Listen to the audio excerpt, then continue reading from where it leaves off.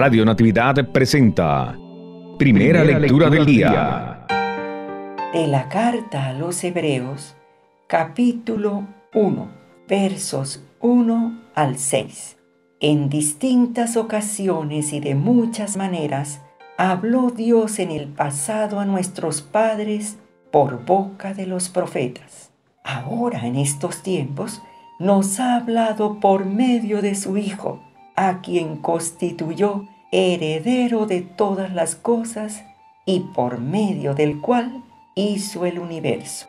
El Hijo es el resplandor de la gloria de Dios, la imagen fiel de su ser y el sostén de todas las cosas con su palabra poderosa.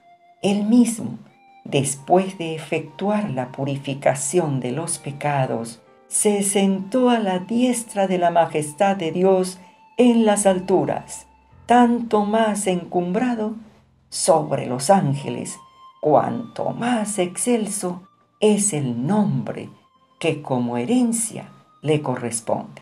Pero a cuál de los ángeles le dijo Dios, Tú eres mi hijo, yo te he engendrado hoy?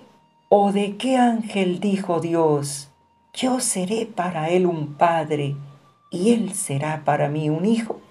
Además, en otro pasaje, cuando introduce en el mundo a su primogénito, dice, Adórenlo todos los ángeles de Dios. Palabra de Dios. Te alabamos, Señor.